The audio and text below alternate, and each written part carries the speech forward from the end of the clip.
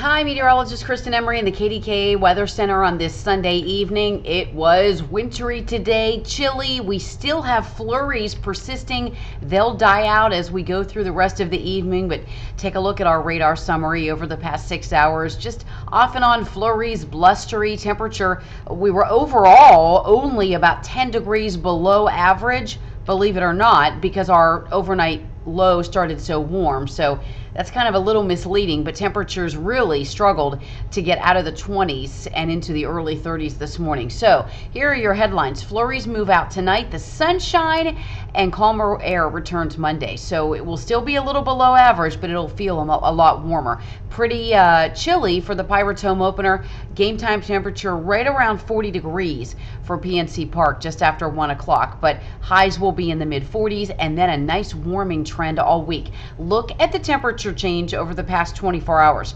34 degrees colder now than it was yesterday in Pittsburgh. 40 degrees colder in Washington and Somerset. Latrobe dropped 41 degrees just within 24 hours.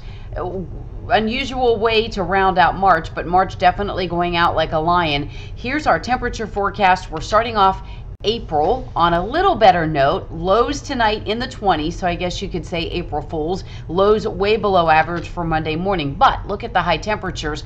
We're only up into the upper 30s, close to 40 by game time for the Pirates tomorrow. But then we're into the er, the lower to mid 40s by early to mid afternoon. And then by Tuesday, look at this high temperatures right around normal in the mid to upper 50s. And by Wednesday, we hit the 60s and we stay right around 60 into the lower to mid 60s the rest of the week. Some nice sunshine to start off the week. Next chance of rain holds off until later on Thursday. We'll have all the details for you, as always, on KDKA Television and Pittsburgh CW.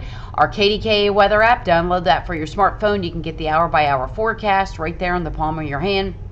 And as always, severe weather alerts when they are necessary. We'll see you tonight on KDK. Have a great rest of your weekend.